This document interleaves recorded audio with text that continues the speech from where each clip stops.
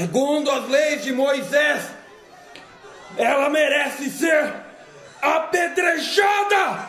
Apedrejem-na! O que está acontecendo aqui?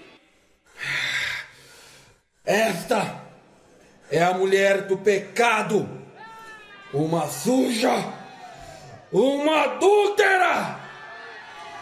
E segundo as leis de Moisés, ela merece ser apedrejada. Sou Maria Madalena de Magdala.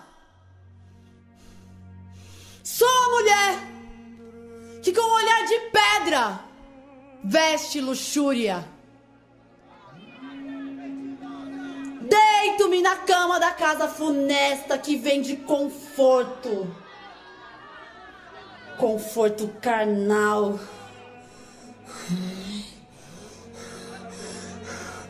Espero ansiosa que não venha ninguém.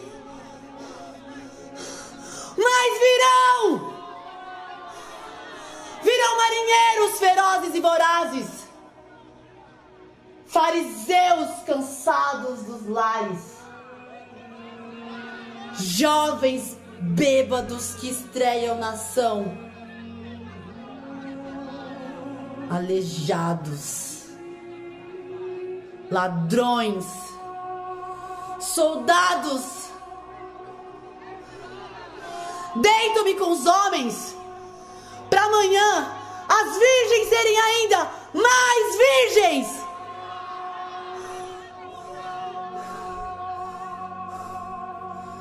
Tenha piedade de mim, Senhor. Chamam-me de adúltera, de pecadora, mas sou mulher e como qualquer outra, sofro pelos desmandos dos homens dessa terra. Acham que esta mulher merece ser apedrejada? Quem de vós não tem pecado? Quem de vocês nunca pecou na vida? Que atire a primeira pedra!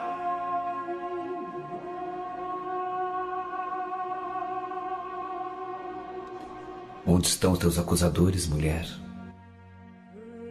Quem te condenou? Ninguém, Senhor.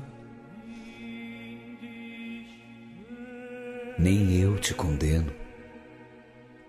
Vá e não peque mais.